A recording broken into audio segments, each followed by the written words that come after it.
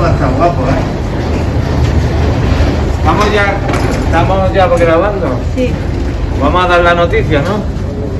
Bueno, un momentito que tengo que pararme allí. Quiero grabar cómo se hace. ¿Cómo se puede? No, pues ya no se puede. Bueno, pues veis este avión, este es el que me va a llevar a Lima, Perú. Ese mismo, ese mismo.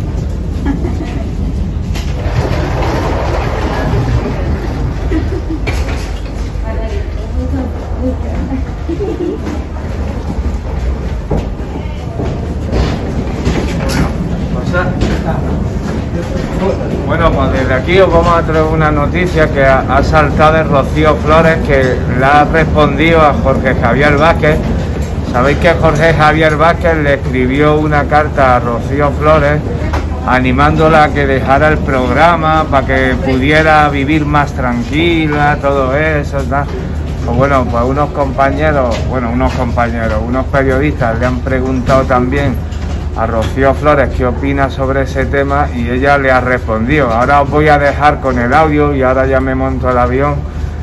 Pero, pero bueno, le ha respondido Rocío Flores y de qué manera la ha respondido. El zasca que le ha metido ha sido monumental. Ha sido monumental. Os dejo con las declaraciones de Rocío Flores. Bueno, también te quiero preguntar, no sé si has leído la carta de Jorge Javier Vázquez. Te recomienda que dejes la tele.